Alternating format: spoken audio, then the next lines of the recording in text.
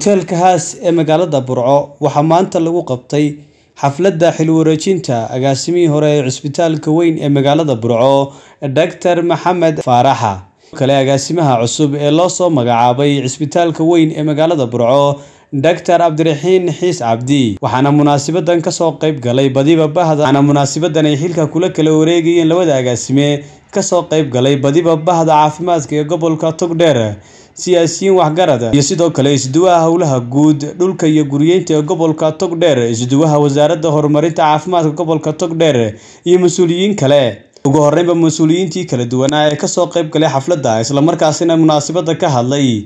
Mas'uuliyiintii kala duwanaa ee munaasabada ka hadlay ayaa soo dhaweeyey agaasimaha cusub ee loo soo magacaabay cisbitaalka weyn ee magaalada burco. Sidoo kalena waxay sagootiyeen agaasimihii hore ee cisbitaalka maxamed faaraxa iyagoona alla uga baryay inuu xilkaasi u fududeeyo agaasimaha cusub noo farxad labadan in kala bedelayo maxamed cabdi faarax oo muddo badan soo shaqaynayay runtii howl adagna soo qabtay iyo cabdiraxiim xiis oo isaguna xilka loo dhiibay labadaba dee maxamedna waxaanu leenahay howl wacan baad soo qabatay runtii meeshan kollaytaba waa meel cusbitaal ah oo dad jilicsan yaallo oo resourceka ka yaalla iska yaryihiin oo hawlaheedu iska adag yihiin.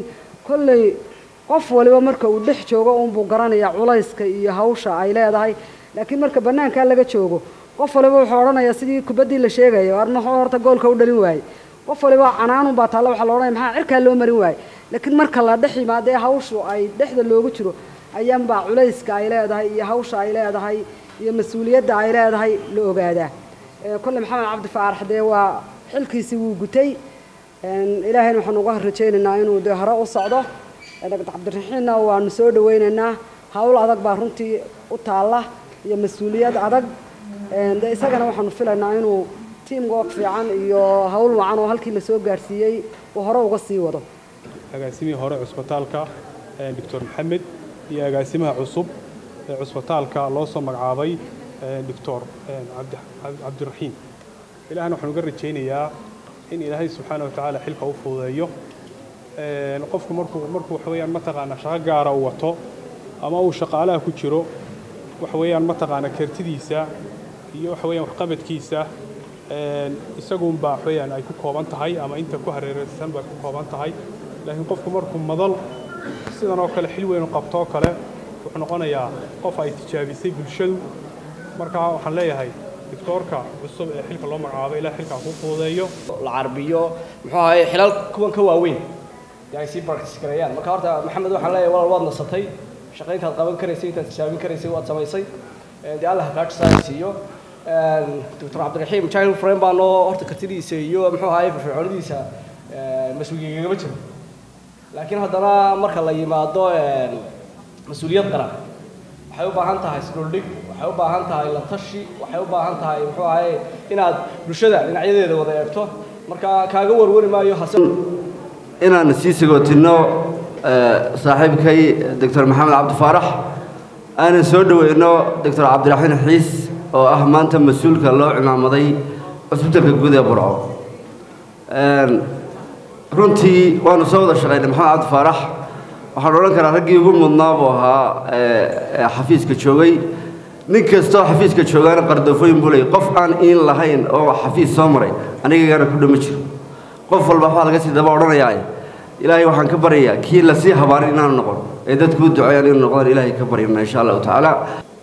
Maanta waxaynu joognaa xil wareejin loo kala xil wareejinayo laba nin oo saaxiibo ah anigu aan qirayo inay saaxiibbo ahaayeen wada shaqayn jireen isuna dhowaayeen laakiin dee wakhtiga iyo iyo dee calafku uu xilka u kala wareejinayo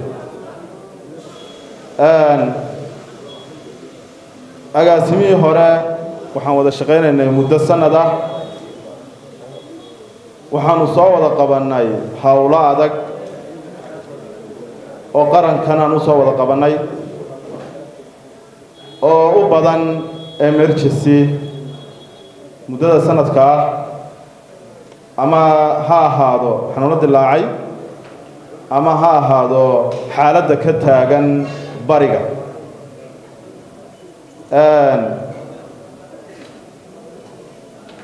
Mas'uul maxamed cabdi shaqadii aada soo qabatay ilaahay waxaanu kaaga baryaynaa inuu ilaahay maalin aada uga baahan uga baahi badan tahay ajarkeeda ku siiyo agaasimaha xilka wareejinayey maxamed faaraxa oo isaguna munaasabadda ka hadlay ayaa ku dheeraaday waxyaabihii u qabsoomay intii uu joogay cisbitaalka weyn ee magaalada burco. Inuu wareejiyo xilkii iyo mas'uuliyaddii cusbitaalka guud ee magaalada burco ama cusbitaalka gobollada bari oo lay magacaabay dabayaaqadii labadii kun iyo koob iyo labaatankii sideedii bishii koob iyo tobnaad ee laba kun iyo koob iyo labaatan xilkaasi runtii marxalado kala duwan iyo xaalado kala duwan iyo maaragtay conditions kala duwan la soo maray intii aan joognay farxa weyn bay tahay. Waana sunnaha dowladda. Runtii mas'uuliyadduna in marba uu qofkaasi markuu muddo soo gaarsiiyo in mid kale qabto oo qoraysuudhi bay noqotaa. Waa wax dee wanaagsan oo dhiig cusub meesha lagu shuba oo mid fiican. Waana sunnaha dowladda. Aad baan u faraxsanay waana soo dhaweynaya agaasima cusube ee wasaaradda u dhimatay intaa kadib runtii hosbitaalku markii aan mas'uuliyaddiisa xambaaray waxyaaba fara badan oo ku xeeraa baa jiray ama maaragtay challenge badan oo yaalay. Xilligaasi waa xilligii covid nineteen uu maaragtay waddanka uu ku qasayay bay ahayd runtii ama caafimaadka guud ahaan dalkana waxaa ku jiray ama saameyn toosa ku yeeshay xanuunkaas. Runtii waxaan dee la wareegnay xaalad cusbitaalku shaqaynayo laakiin challengesku ay fara badan yihiin. Alxamdulilah rabbilcaalamiin intii mas'uuliyaddaan haynay sidii ugu fiicnayd waqtigii ugu wacnaa ayaan ku qaadanay timeka ugu faraha badnaa baan ku bixinay fikirkii iyo dadaalkii wixii ilaahayna geliyey waxaan ku dhex qaadanay cusbitaalka guud iyo sidii wax looga bedeli lahaa. Isaguna sidoo kale munaasabadda ka hadlay agaasimaha cusub ee dhowaan loo soo magacaabay cisbitaalka weyn ee magaalada burco doctor cabdiraxiin xiis cabdi. Isagoona kula dardaarmay shaqaalaha kala duwan ee cisbitaalka weyn ee magaalada burco inay ula shaqeeyaan si hufnaani ku dheehan tahay.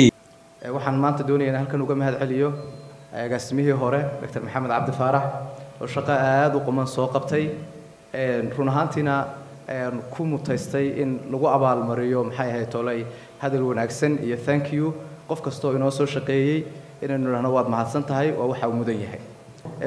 Ducada iyo maxay ahayd tooley garab istaagga ayaan maanta u baahanahay. Haddaan ahay agaasimaha maanta cisbitaalka burco lagu wareejiyey xilka lagu wareejiyey. Alxamdu lilaahi rabbilcaalamiin wax kasta oo ragu kaco rabbina aqbalaa way rumoobeen waxaan rajaynayaa garbaha cusbitaalku ku duulayo.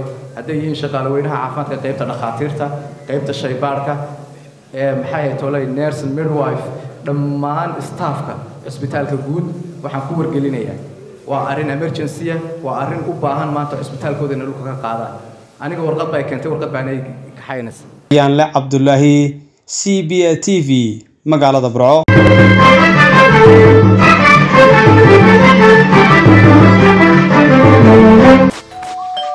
maasha allah soo dhowaada.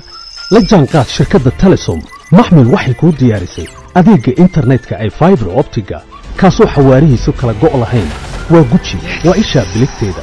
Intuu soo gudlanayo hadalba gam hagarla'ii ku isticmaal sochial midiyaha kuna daawo wararka cayaaraha iyo onlaine geemiska haddaba maxmil soo gasho gurigaaga xafiiskaaga iyo goobtaada shaqo. Fadlan nagala soo xidhiidh nambarka gaaban